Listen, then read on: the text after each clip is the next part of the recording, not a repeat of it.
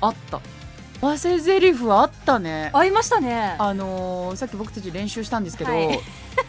全然思わねえっつって言ってたんだけど、ねその前に自信満々で始めたのに。そうそうそうそう、ね。なんかもういや余裕っしょっつってこうやったらあ合わない。いやややばい。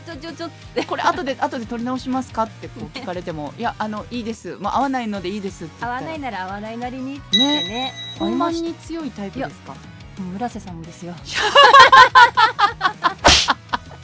よかった本もうお番に強い互いに合わない合わないってねもう。お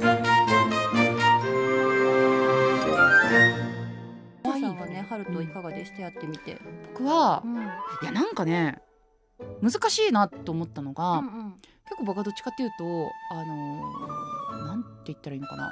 コテッコテにあのいやりたくなっちゃうというか、うんうん。いわゆるなんかギャグとかだったらもう「なんでそんなことするの!」みたいな。もうとにかく声出すみたいなのとか「そんなのおかしいよ!」みたいな。なんかとりあえず声出してなんぼみたいな感じのことを結構自分の、まあ、取りがちなスタンスとして思ってたので、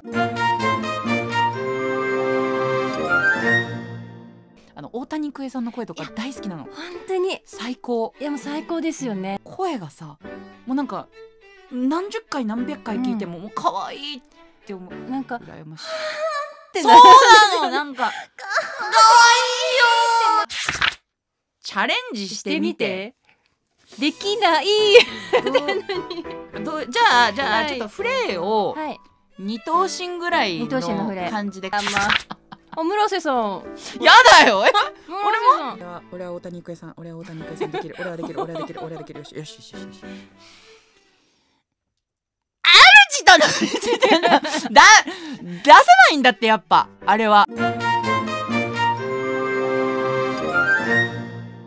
っていうとそうじゃなくてなんか抜いた感じでツッコミしてほしいみたいな、あれが一番難しかったかななんかキャラ作りで。あと最初のなんかハルトの格をつかむのがすごい難しくて、うん。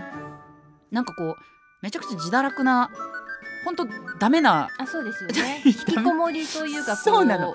あのーなんていうのかなんか本当にいなんか怠惰にやっぱりこう自由にもう性を貪りたいっていう感じの方なので、そこのところをちょっとあのスポーンとこう抜けちゃってたから、うんうん。なんかこううーんどうどうお芝居したらいいのかなっていうのを悩んでた時にもっとなんか適当にやってくださいみたいな感じのこと言われて、あそうかちょっとなんかきっちりやろうとしすぎてんだなと思ってからあのちょっとハルトのことをうんちょっと分かった気になりましたね。おうん。でも正義感はあったりね。そうなんですよ意ねいいやつなんですよ実は。いやめちゃくちゃいいいい人ですハルト様は。いい人かな？いい人です。ああすごい。あ従者感が出てる。従者です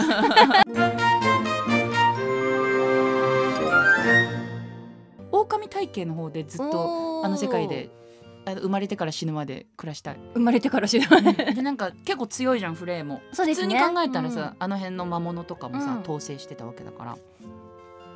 蹂躙したい。すごく蹂躙してみたい。獣の王に。獣の王になる。ね。だからあの実は俺最強でしたじゃなくて実は私獣の王でしたっていう。お。そういうちょっと漫画人生を歩んでいく。はい